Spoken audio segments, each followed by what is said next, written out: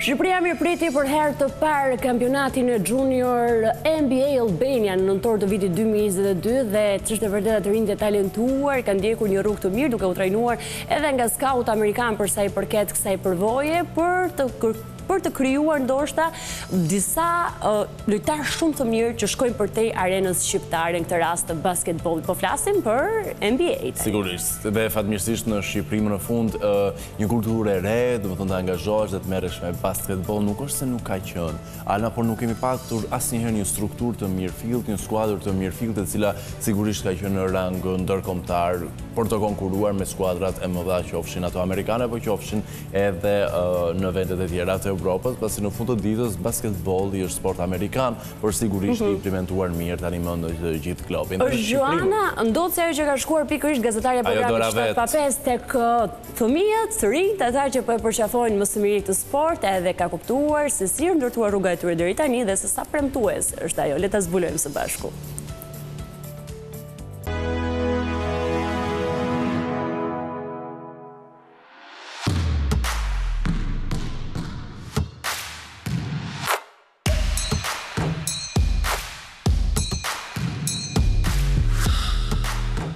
Përshëndetje të dashur teleshikues, sot do të jemi së bashku me Altin Cicon, i cili është trajner i grupit të basketbollit Junior NBA. Përshëndetje. Përshëndetje. Faleminderit që pranuat ftesën tonë. Faleminderit dhe ju. Për sa i përket grupit të basketbollit, mund të na flisni më shumë cilat grupmosha bëjnë pjesë për basketbollistët e vegjël?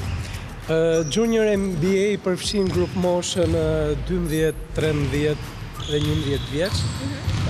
Është një grup shumë i mirë, kanë Mbi pesë vite që stërviten bashkë dhe këtë vit pothuajse kemi një ekip shumë të kompletuar për të marrë pjesë në kampionat dhe pse jo jemi dhe pretendentë.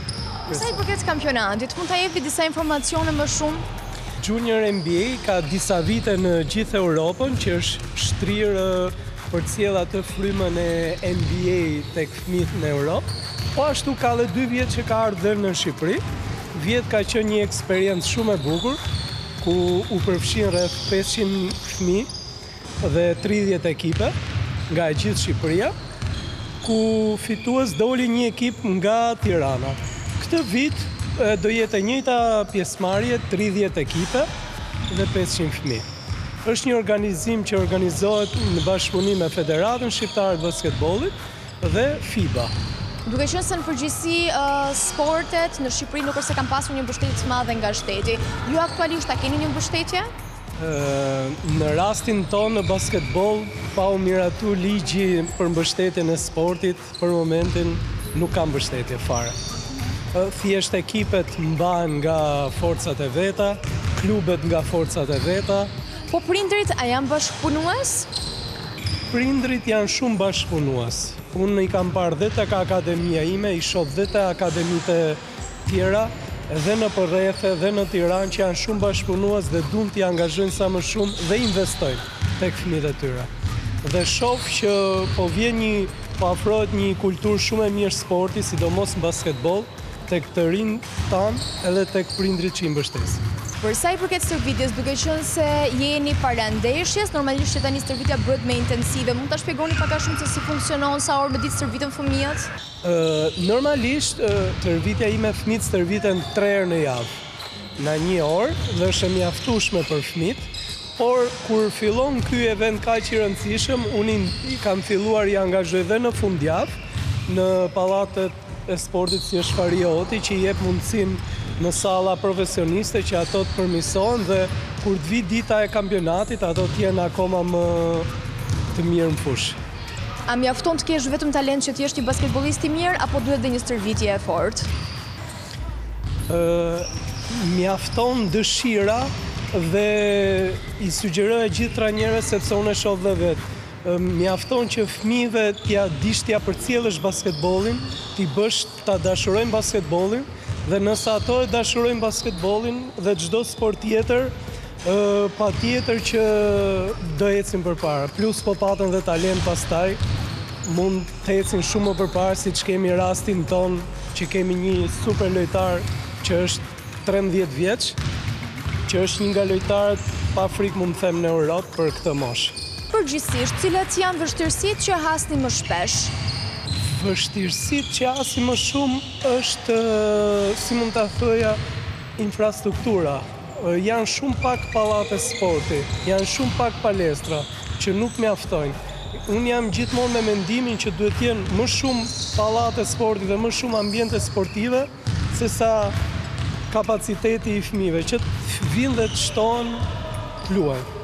Pra ka disa momente kur fillojnë ndeshjet fundjavë që dikujt i cenohet stërvitja, dikush shtyhet ndeshja. Cila është këshilla që u jepni më shpesh basketbollistëve të vegjël para se të nisë një ndeshje? Që ato çdo mision që marrin, çdo garë ku futen, ato të japin maksimumin. dhe të luajnë në grup, qoftë se japin maksimumin, qoftë se luajnë në grup ato, qoftë se ne i fusim atë edukatën fëmijëve që në çdo garë duhet të luftojnë në grup, duhet të japin maksimumin, ato do ia dalin dhe më tej, si kur të rriten në punë edhe në jetën e përditshme. Ne tani po shikojmë fëmijët të cilët po bëjnë stërvitje, Mund ta shpjegoni pak a shumë se çfarë lloj stërvitje, çfarë ushtrimesh, çfarë po bëjnë? Normalisht bëjnë ushtrime taktike, sot po bëjnë ushtrime taktike, që ato të ambientohen me fushën, të kombinojnë me njëri-tjetrin, në pasime, në triblime, në gjuajtje.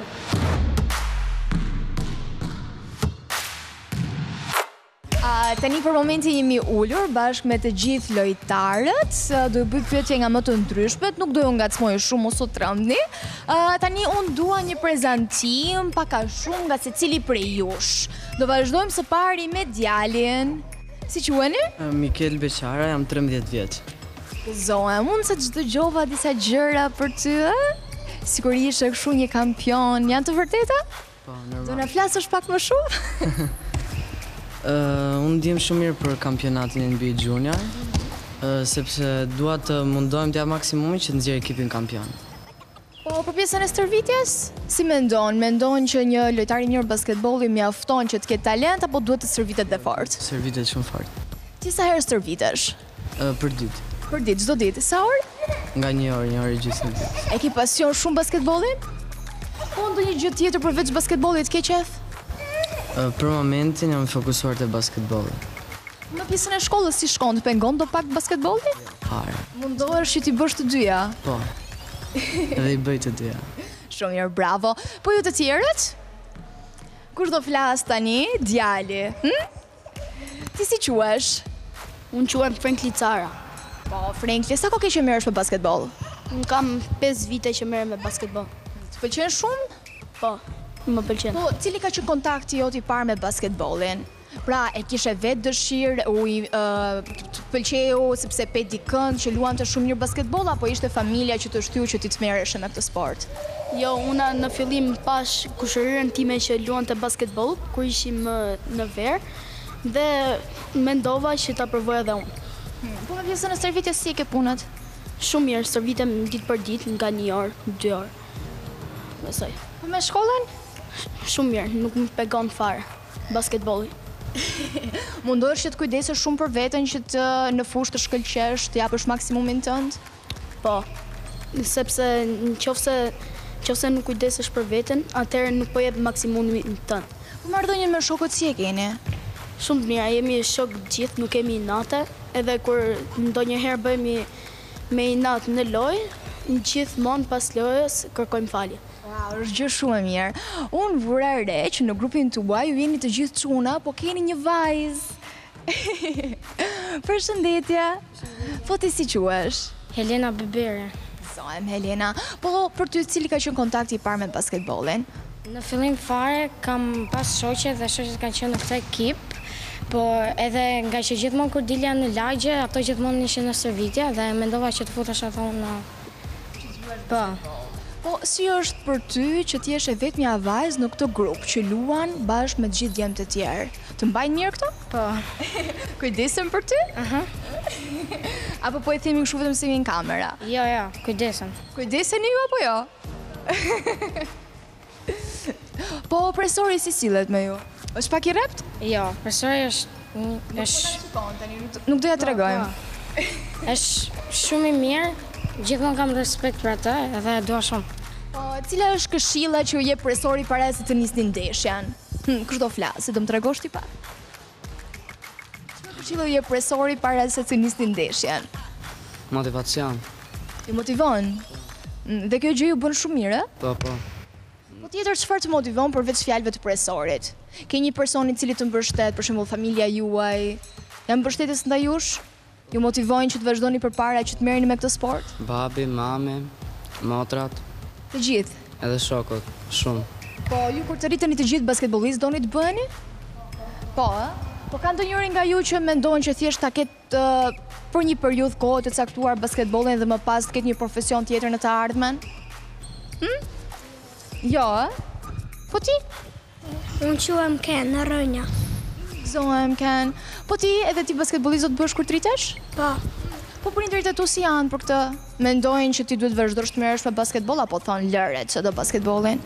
Mua prindërit më thonë po.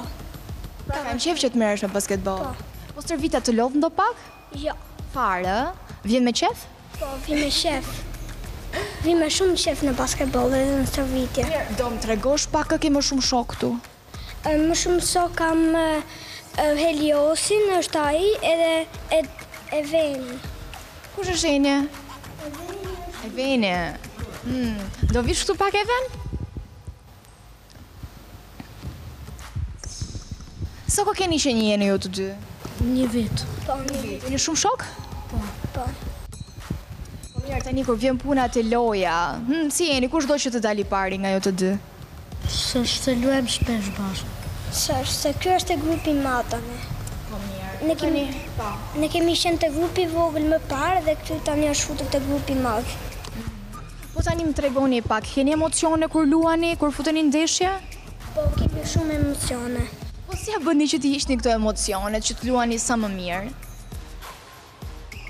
Apo thjesht fokusoheni te loja që të luani mirë edhe i lëni? Po, fokusohemi te loja. Bravo. Po do më tregoni pak, keni ndonjë basketbollist të preferuar që e keni idhull dhe doni të bëheni si ai kur të rriteni? Hm?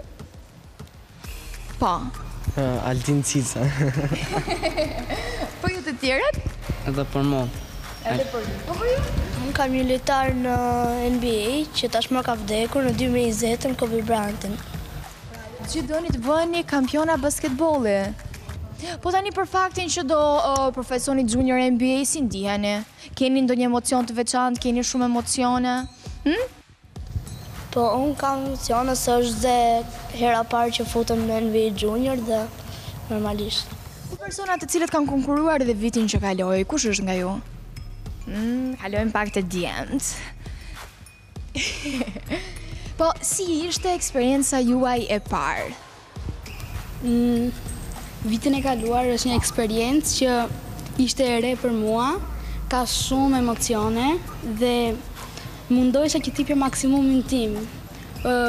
Profesori më shumë më linte mua që të mësoja nga të tjerë, sepse isha i vogël dhe domethënë nuk kam pasur atë eksperiencë që kam tani, edhe mendoj që tani do jap maksimumin tim edhe do e fitojmë. Dhe ne këtë jua urojmë me gjithë zemër që të fitoni. Po, ndërkohë që ti, le të themi, je bërë i vjetër në këtë punë, se ke bërë edhe një vit më përpara. Tani si thua, këto të rinjë që janë, do i mësosh edhe ti? Siç të mësuan ato të tjerët vjet? Po. Do ndihmoni njëri-tjetrin, ju funksiononi si grup. Po mua sot do më ndihmoni që të mësoj dhe unë të luaj basketboll? Si thoni, kalojmë?